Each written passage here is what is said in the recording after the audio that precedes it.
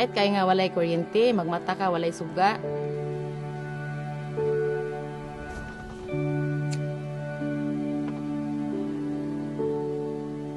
Pumapasok yung anak ko, nahihirapan sila. Kahit umulan, tinitiis lang pumasok.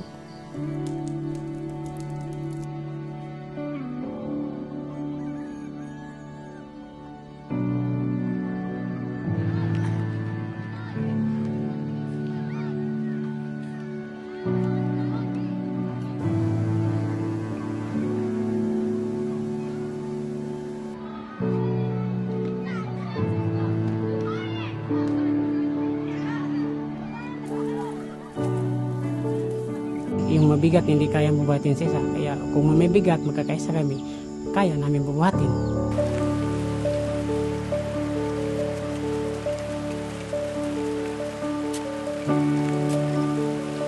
Kahit walang kurente, kahit, umuulan, pagsisikapan namin kami magsama-sama. Itong Pasko na to.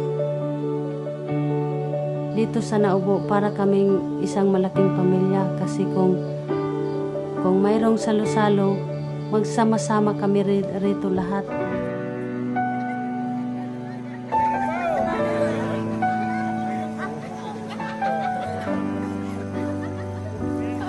Espesyal na po natong Pasko ron.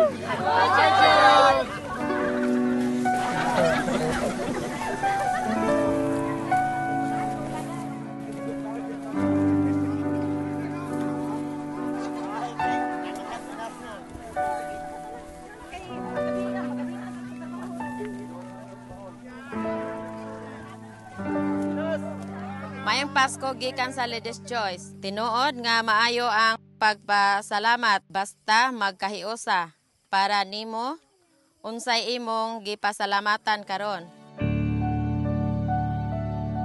Nagpasalamat ko sa ako ang mga si- silingan nga nagkahiusa mi diri tanan. Malipayon mi bisag wala mi suga, wala mi karsada nga tarong.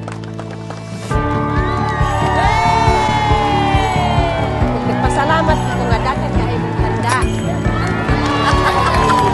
Salamat po ko sa among silingan na kasi wala na mo makaulos buti nga nakahatag po sila na mo.